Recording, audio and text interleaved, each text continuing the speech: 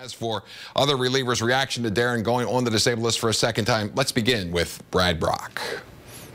We've already gone through it once this year, so I think it's just kind of continuing what's been what we've been doing. And uh, like Zach, I've heard Zach say, and the other guys, you know, if some someone else is going to get a chance to step up here, and uh, it's definitely no added pressure. Just want to go out there and continue doing what we have been. How disappointing is it though to lose him for a second time? As important as he is, production-wise and leadership-wise. Yeah, definitely. Anytime you lose a teammate like Darren, it's it's difficult. But um, at the same time, uh, like I said, we did it once this year, and uh, it's going to give somebody a chance to step up. And but it, it definitely hurts losing Darren because it was great having him back. And like you said, his leadership is second to none. So that's probably where we're going to miss him most. Most, but um, hopefully he can get healthy soon and get out there as soon as possible.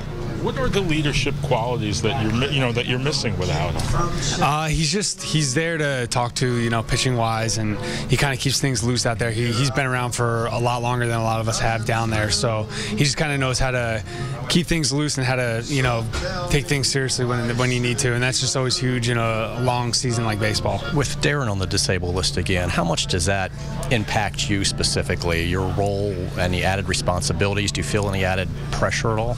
No, not not at all. And um, uh, Buck's put me in situations early this year and been confident in me in any type of situation. So we're just hoping uh, Darren gets back healthy and um, ready to compete in September, and that's where we really need him. And we're just going to uh, capable. We're capable in the bullpen um, to do uh, pick up the slack and help win ball games.